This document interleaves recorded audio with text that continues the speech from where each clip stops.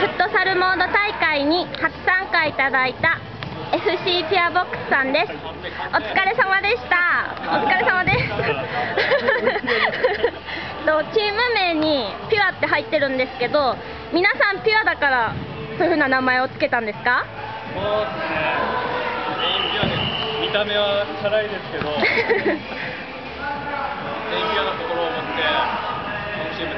なるほど。それが由来なんですね なるほど。そうですね。うんとなかなか苦戦してますがあと2試合に向けての意気込みをお願いします。そうですね。あと2試合はみんな、ピュアじゃなくチャラく。チャラく。はい。とフリータイムなんですけど何かアピールすることあれば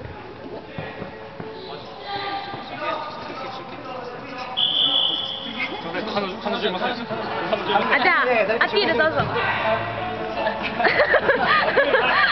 一発一発やります。あお願いします。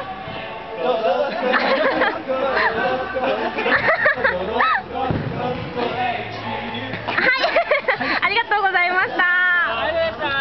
この後も頑張ってください。